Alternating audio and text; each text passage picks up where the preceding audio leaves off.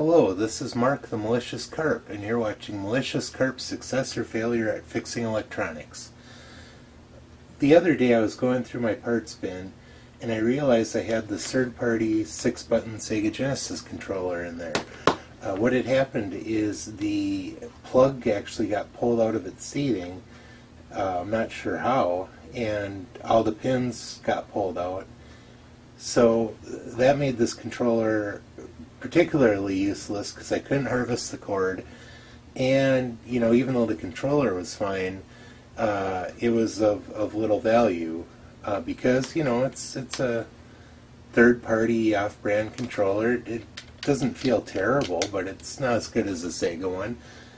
Uh, so I, I had it in my parts bin. I was looking to get rid of some stuff. So I decided to see what I could harvest out of this. And what ended up happening is I ended up accidentally making a really good prototype of a two button functional Atari 7800 gamepad. I'll talk a little bit about that um, once I get these uh, screws out again. So what I initially had set out to do is I initially set out to see if I could use the uh, PCB buttons on there for any other projects. Um, these gamepads, they uh, they have a um, uh, the button trace is printed directly on the board, and then they have a uh, little rubber piece uh, that's button shaped with a contact pad right in the middle. And when you press down, that contact pad is conductive and it completes the circuit and functions as a button. And I wanted to see if there was any way I could harvest those and use them in other projects. So what I did, this case is pretty tight fit now, and you'll see why in a second. There we go. I'm just going to leave this all in place here, but uh, here from the start button is a real good example. And this is what uh, membrane keyboards use too. Let's see if I can get it to focus. Come on camera. There we go. That little black spot inside is actually conductive and when you press the button that presses on the circuit board and completes. Well.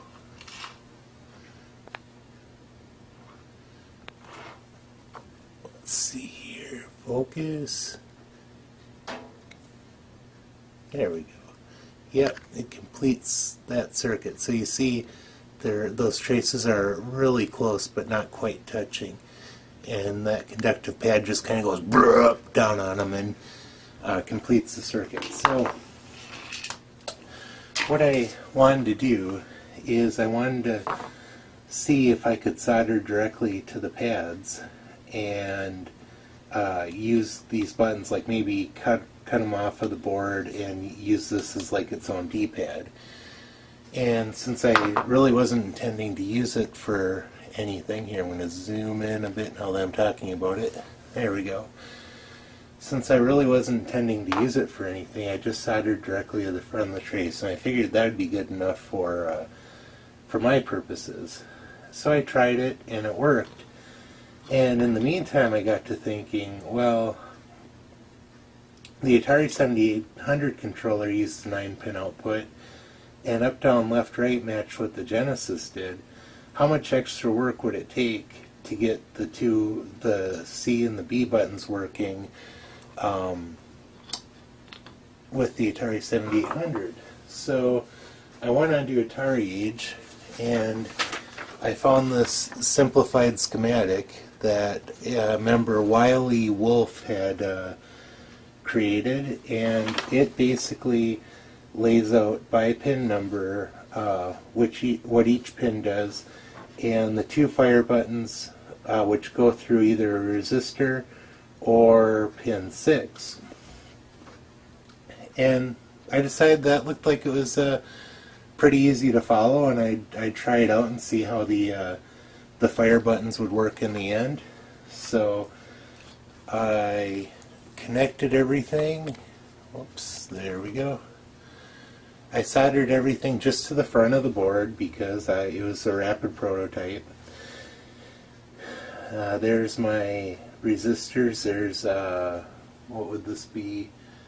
Pin 5 and pin 9. Uh, oh, pin 9 actually. There's, um, this controller was really nice because it had contact pads for each of the buttons and the other side of the button went to ground in every case. So I uh, actually soldered to the contact pad whenever possible. And then um, since B and C don't connect directly to ground, I actually took a razor and I cut the ground plane. And then I soldered to that for my pin uh, pin 9 and the resistor that goes to ground. So there's there's two resistors on here really ugly, and the the rubber pad lays on top of. Whoop, sorry about that. The rubber pad lays on top of this, and uh, when I got finished, well, then I had to put a plug on. There's the plug in all its glory. Um, this loose wire here is the infamous pin 7, which on the Sega Genesis uh, is used to I believe, switch um, switch the buttons over. So B and C are connected directly, and that's why they work on the master system. But to use pin A or the other six buttons, you have to do a little bit of switching, and pin 7 controls that. Uh, since it's not used on the Atari 7800, I just kind of left it hanging. And that's what I ended up with. I plugged into my Atari 7800 and it ended up being the most comfortable responsive controller I had for the system.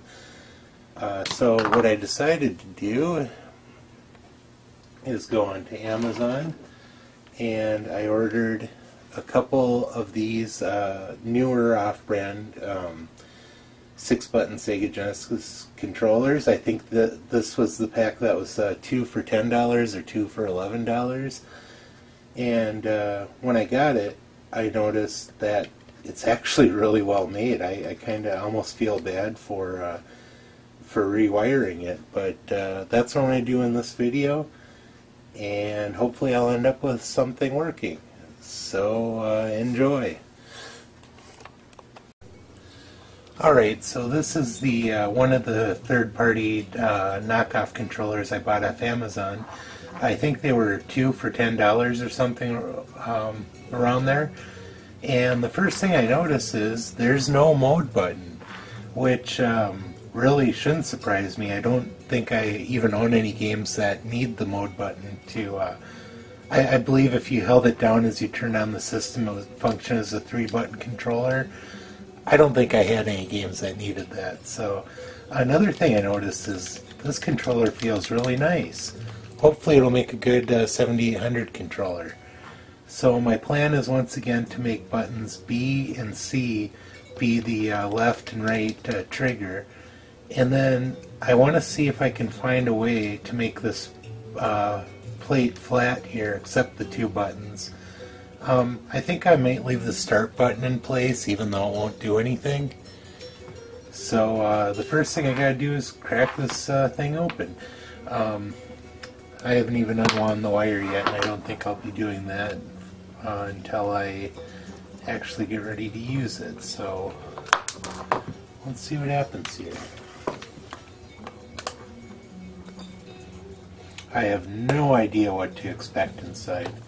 I mean, I expect there to be a PCB that's the size of the controller, and I expect a little glob top uh, circuit in there. Oh, I already removed that one. Oh. But other than that, I don't know what it's going to look like. This should be fun. I was kind of hoping they'd look like that other uh, one that I used to make the prototype, because that actually had a real nice feature on the uh, circuit board. uh, they actually had uh, little pads that you could go to that connected to each button trace. I, I don't know why, but uh, it was really nice. So, well, here we go. Okay, the the back looks uh, wonderfully generic. That almost, huh? Looks like it was uh, worked over. Eh, oh well. Okay, well, let's see what we have. Ooh! Wow, that actually looks really good. Now it's going to be a little harder to work with, but it looks really good.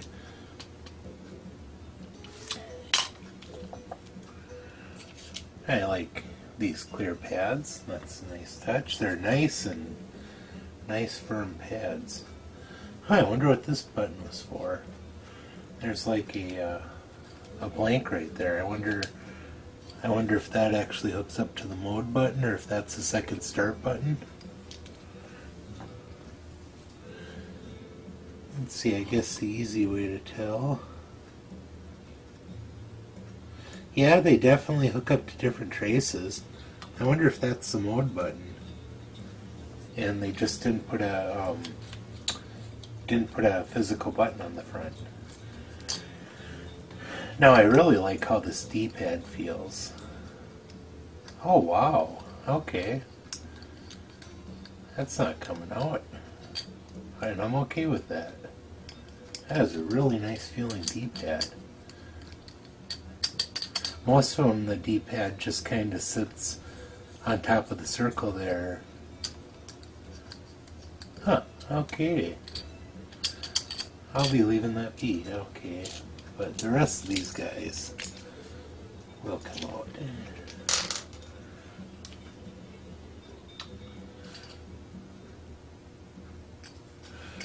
Okay, I'm just kind of trying to see. I wonder what the best way would be to uh,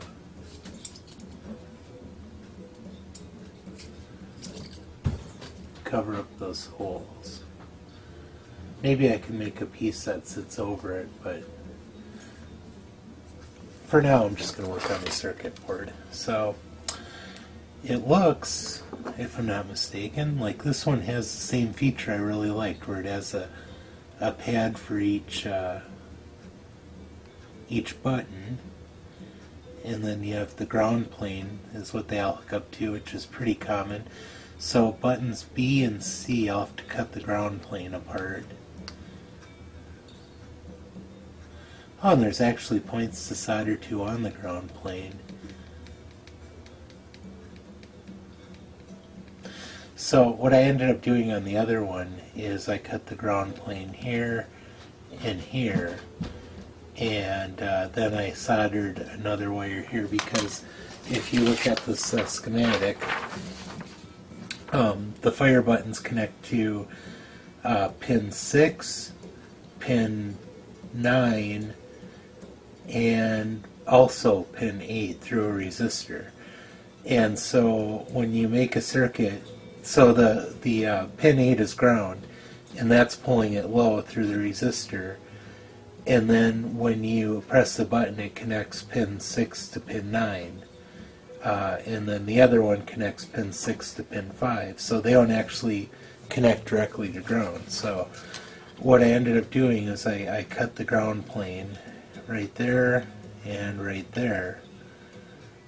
And uh, then I um, soldered to the ground plane. Uh, that's where pin 9 went, pin 9 and 5. So yeah, um, I think I'm going to go kind of the same route with this. Uh, but on this one, I'm not going to solder to the front, obviously. I'm going to, uh, I think I'm going to drill a little hole through each one and try to um, solder to the back. I think that would be a good way to go. And I'm also,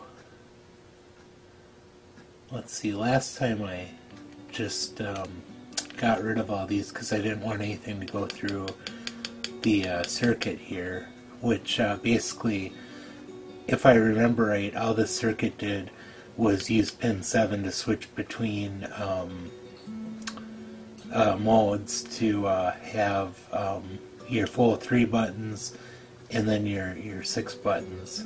So uh, pin 7 is, is not used on the Atari and you can just leave that hanging. And then, um, so I need to cut this out of the circuit as well.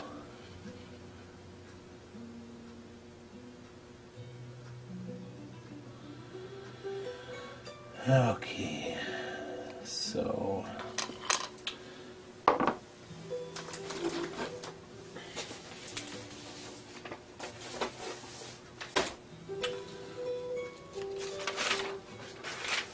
start by doing here is let's see one, two, three, four, five, six, seven, eight, nine. Okay, perfect.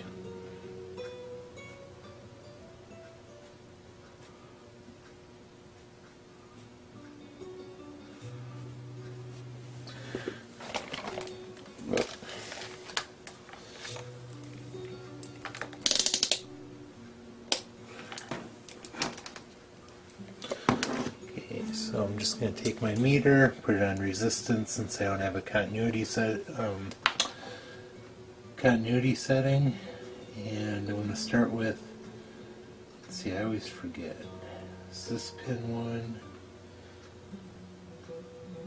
Female side, yes. This is pin one. So stick my probe in there and find pin one.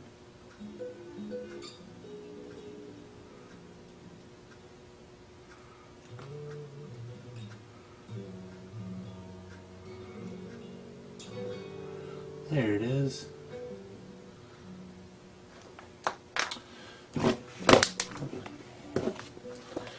Okay. So pin one's the third one in. Okay, pin two.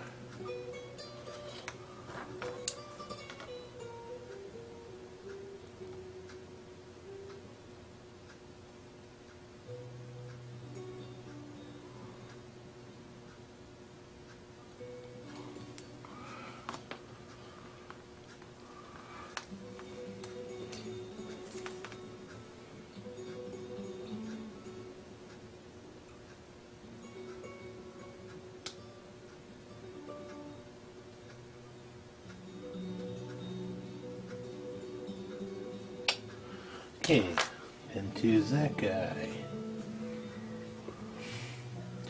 Now why did I write three there? That's a one.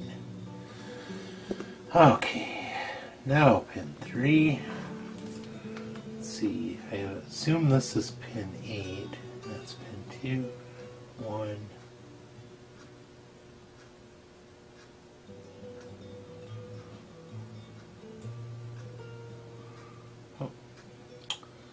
That guy's pin three. So, three.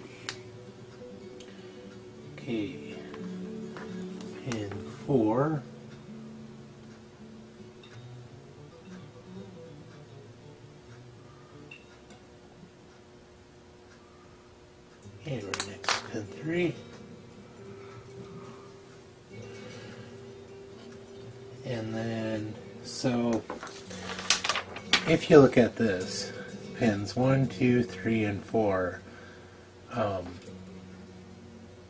should go to up, down, left, right, and then the other side goes to ground.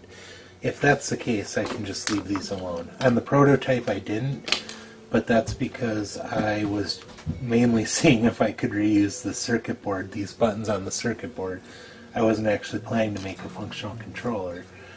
So I want to start by looking at up here and see if that connects to pin 1.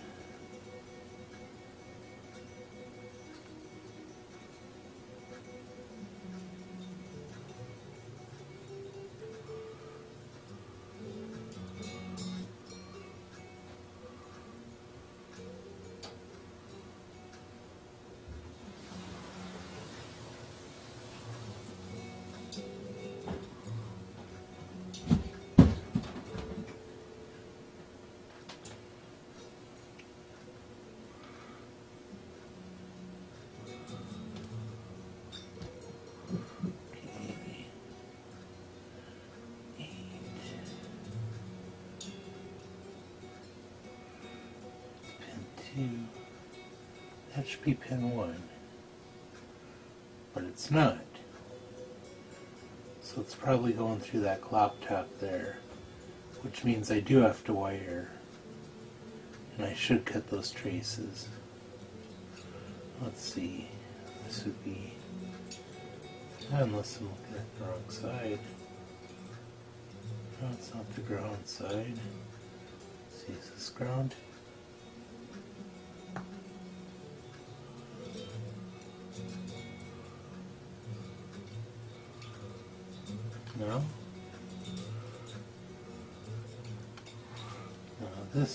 Should be, yeah, that's ground.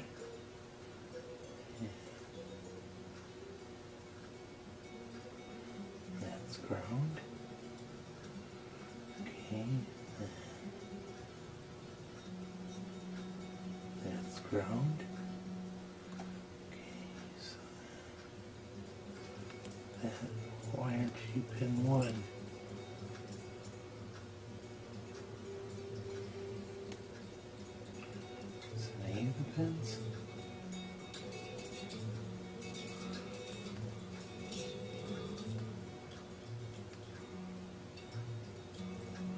Okay, so I'm going to verify that's pin 8 real quick. So pin 8 would be right there. Yeah. Yep, that's pin 8. Sweet.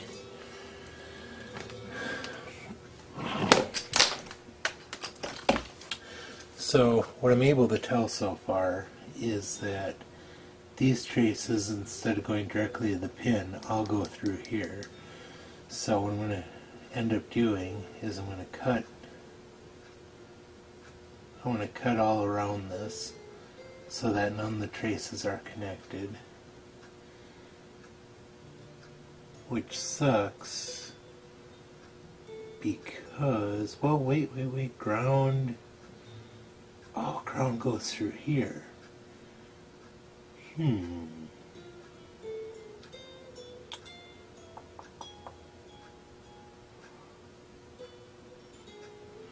This is ground, that's ground, that's ground, that's ground, that's ground. So, ground goes over here. So if I have to cut this trace to isolate pin B, I'm also going to be cutting its path to ground. That's actually a, a real smart layout that they did. The prototype one I had had a separate ground going this way, but in this one the ground path goes down here and over. Let's see, where does the start button? Uh, the start button connects to ground through the same path.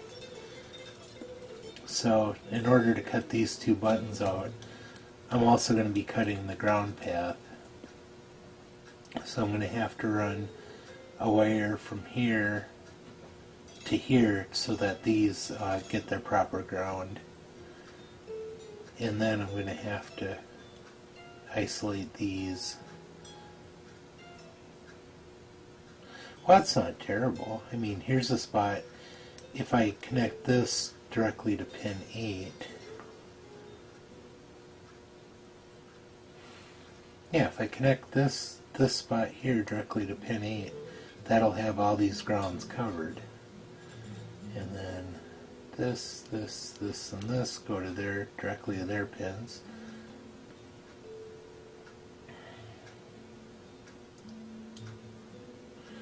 Let's see. And I figure if I just cut the trace here, that should be sufficient to prevent them from going through this.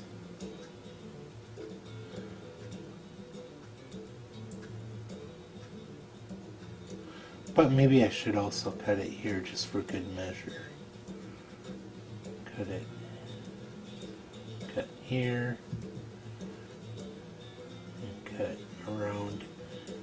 cut all around this so none of these traces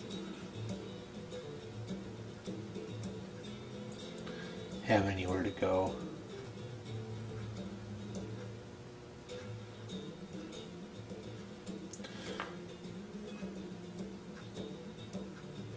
And then I'll be drilling a small hole through each of these pads.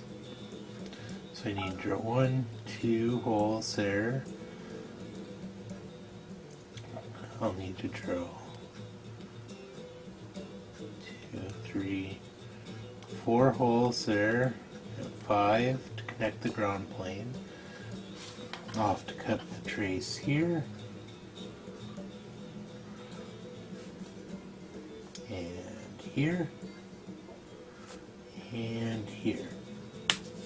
Oops. Yeah, I should be using a marker for this. If I cut the trace here, here, and here, it'll isolate these two buttons. I'll have to scrape some of the uh, pad here and drill a hole, drill a hole here, drill a hole there and there, and then uh, resistor, resistor here, resistor here, and then the resistors will go to pin 8. Well, they'll go to ground anywhere on the board. I could just as well do them both right here. And then pin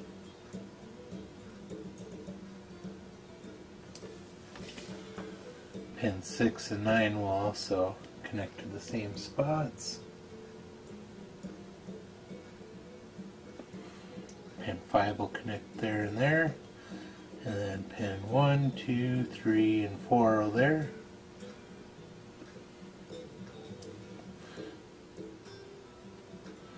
So 1 goes up, 2 goes to down,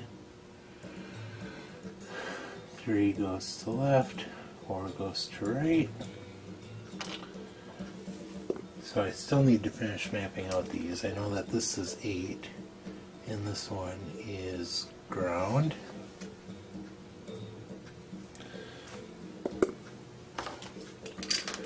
Let's find out what the rest of them are. I've done 1, 2, 3, and 4. So pin 5.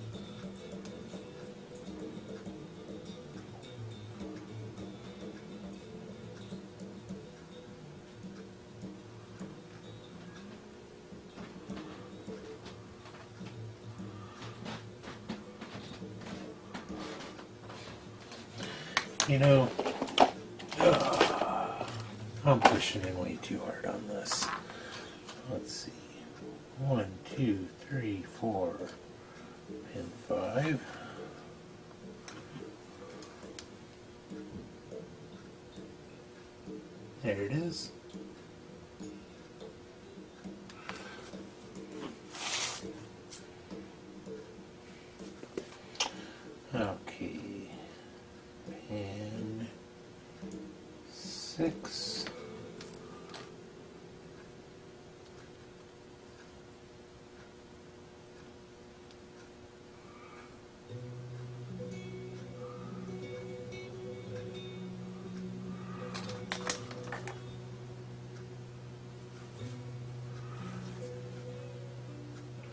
Now pin 7, which I'm actually just going to cut.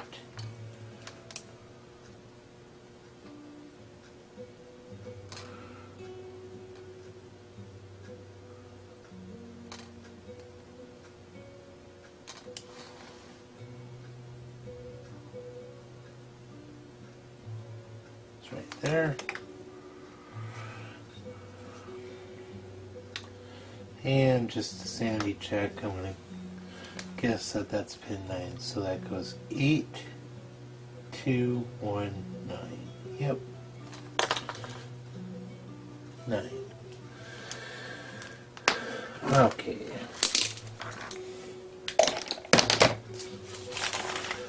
So now that I have that mapped out, let's see. Pin 1 goes up, down. 5 goes to right fire. Right fire. It goes to right fire and it also goes through a resistor to pin 8. Pin 6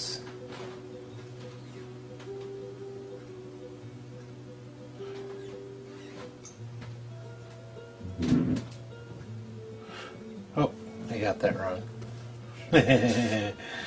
okay, let's try this again. Two, three, four, five, six, seven, eight, nine. It goes seven, five, three, four, six, nine, one, two, eight. Sounds like a phone number missing a digit. Okay, eight goes to ground. One goes up, two goes to down, three goes to left, four goes to right,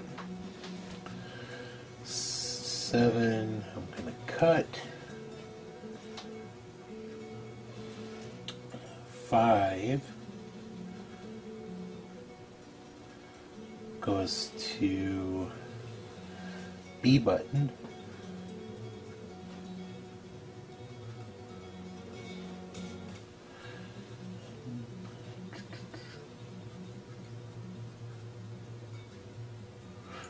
5 goes to C button, 6 goes to B button. C button, 6 goes to B button, 5 goes to C button, 6 goes to B button. And then 9.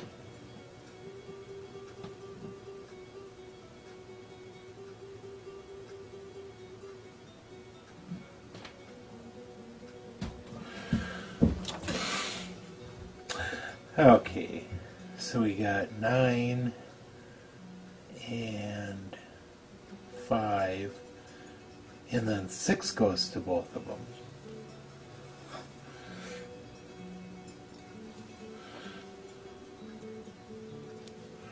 B button and C button. 5 goes to C button and resistor, and 9 goes to B button and resistor.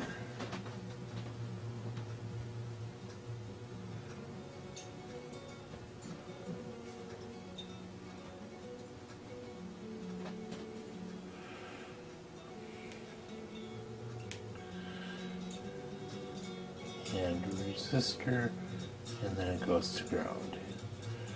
5 goes through resistor, and then it goes to ground. And this resistor is 680 ohm.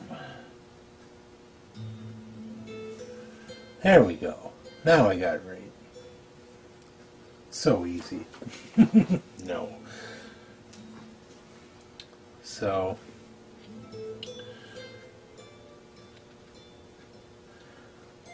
I guess the next step is to start cutting traces and then drilling. So I want to pause the video here and get my tools. Alright, here's where I hope I've done my planting correctly. So I'm going to start by cutting these traces.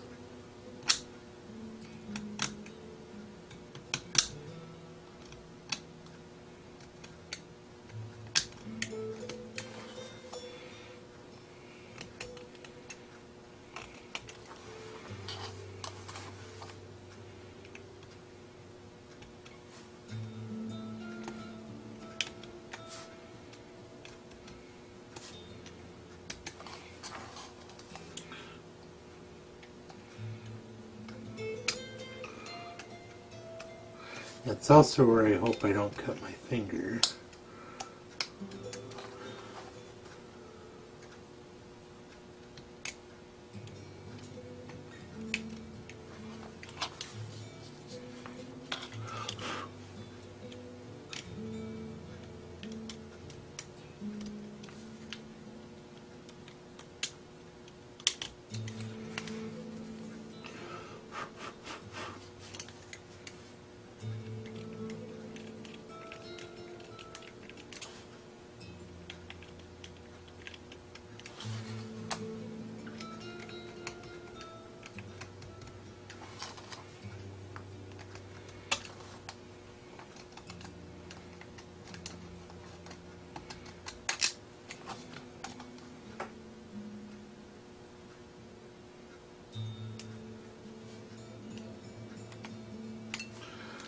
Okay, I don't think any of those traces could have survived.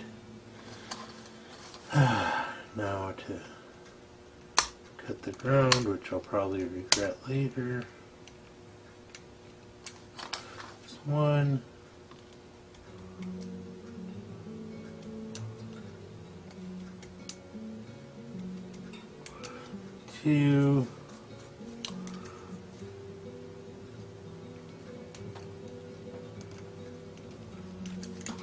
Three.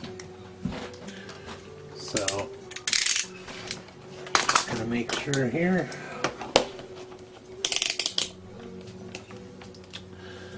So this should not connect to ground anymore.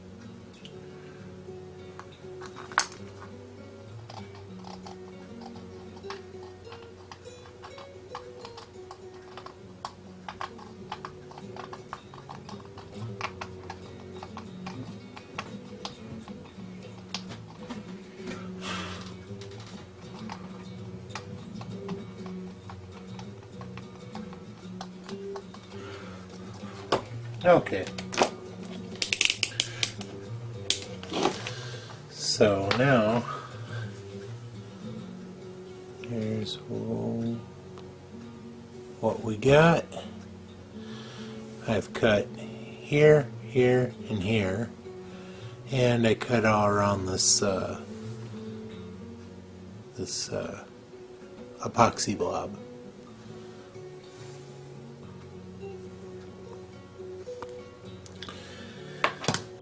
Okay, so next uh, I need to start drilling. Alright, after much digging and playing around, I realized I couldn't use my Dremel for this, so I'm going to have to get out the big guns. So this should be interesting.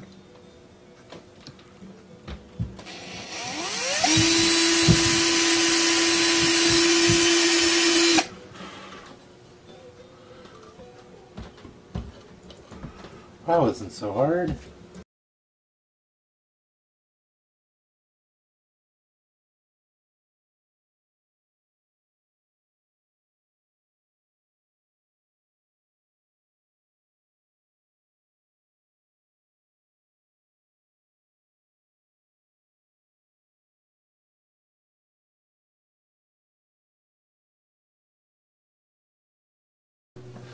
Alright, so now I have all my holes drilled. There we are. Uh, around each of these pads. And then I have this one on the ground plane, which I'll have to uh, I'll have to scrape some of that um, masking away so I can solder to that. So next I'm going to um, work on scraping that away and then I'm going to pre-tin all these places I'm going to solder to in the future.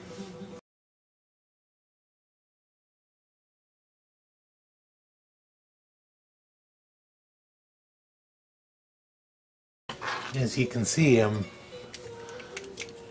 hope you can see, I'm actually making pretty good progress there.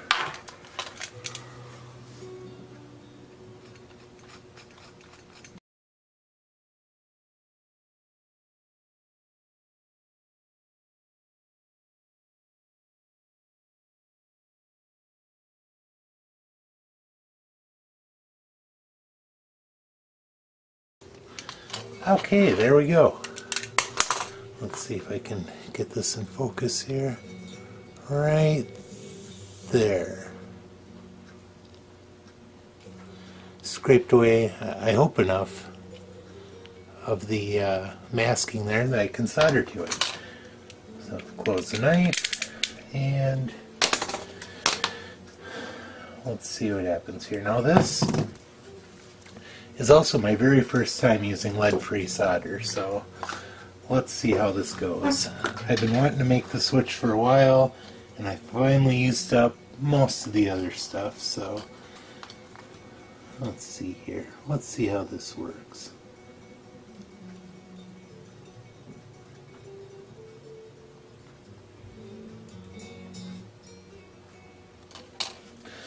Well, right out of the gate,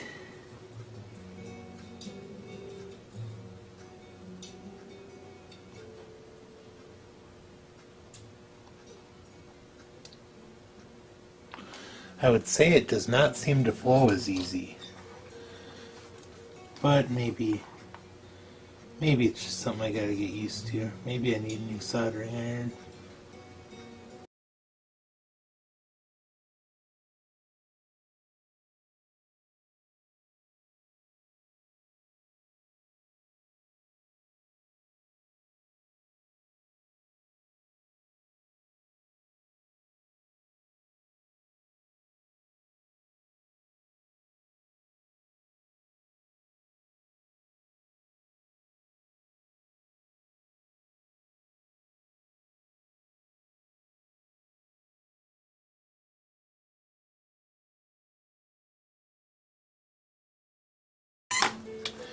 Alright, well, that's kind of ugly. But, I'm learning. Alright, so the next step then is to run wires across the back of the board to each of the pins. And for that, I have a old piece of Cat 5, which I actually really like using because it's solid core and it's real thin gauge and it stays where you put it.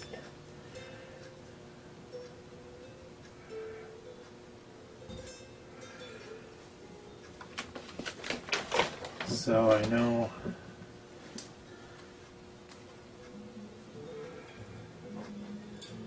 let's see think the first thing I'm going to do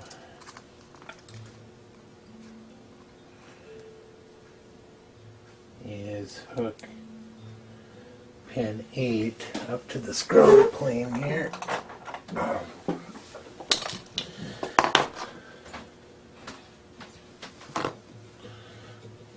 So, be very generous here.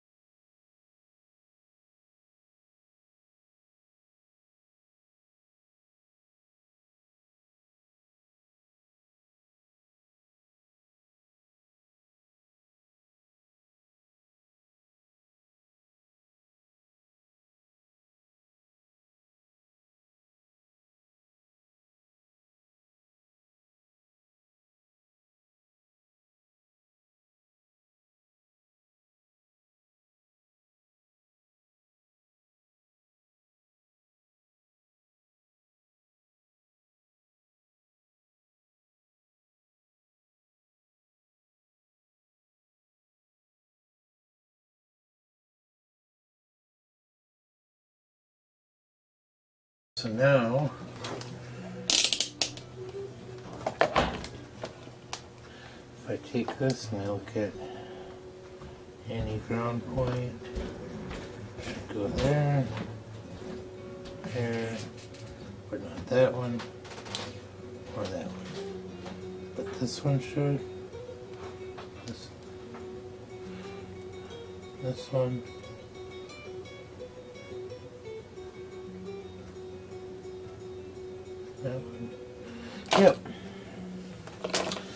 Okay, so now I got ground going to all the buttons. So now the next one is pin 2.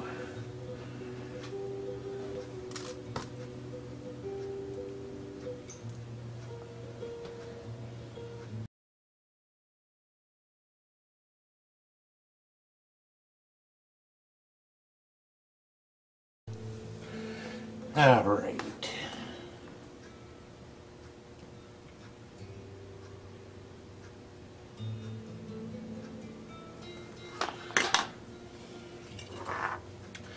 So this one corresponds to pin 2, which corresponds to down.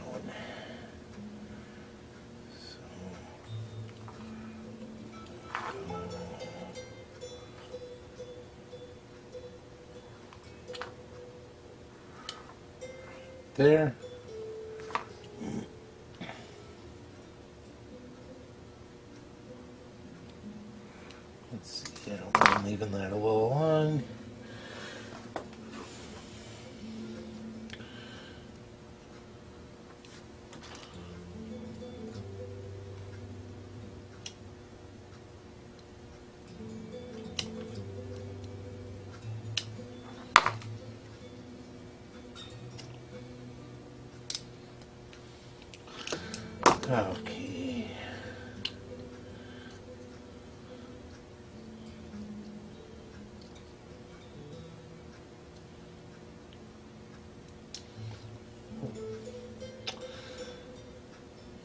See just how uncoordinated I am.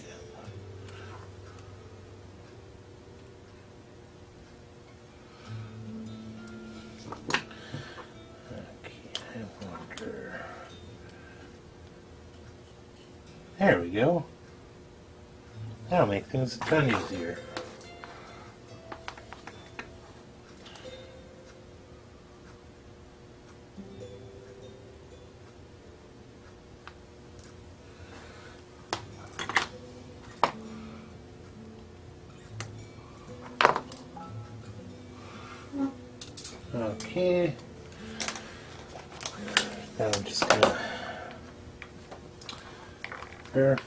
This actually goes to pin 2 like it should. So there's pin 2. Whoops. Pin 2. Uh, and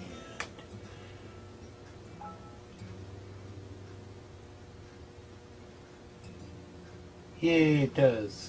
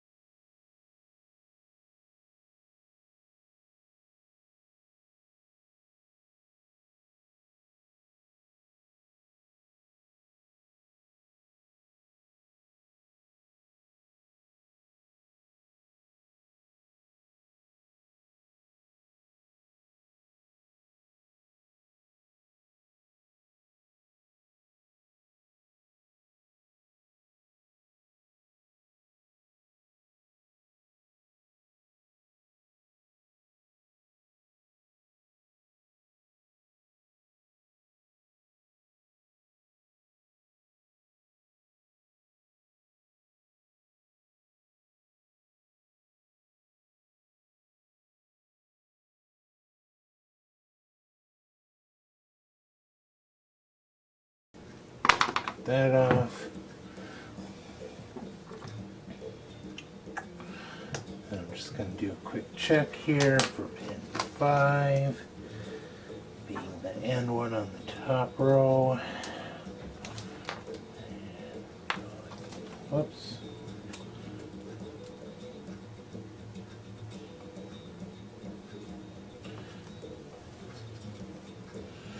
And one top row. So be 680 ohms to pin 8.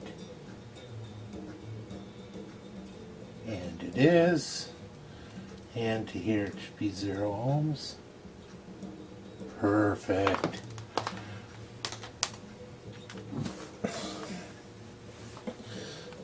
So, there's that,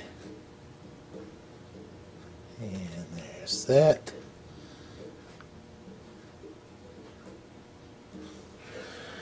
Okay. Let's see. Now, experience tells me I need to leave my soldering iron soldering iron warm because there'll probably be some touch-up work. Okay,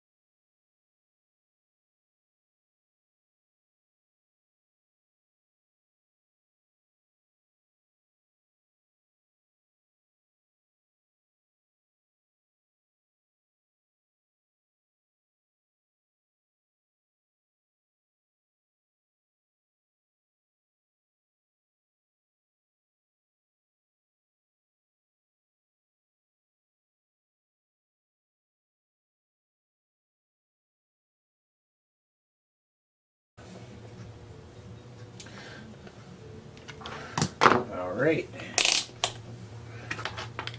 Oh, it feels so nice.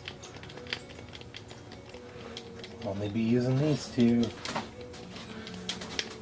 Okay, well, we'll see if it worked. All right, let's see if this works.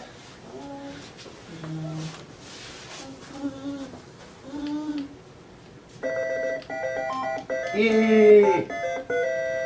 Two buttons finally!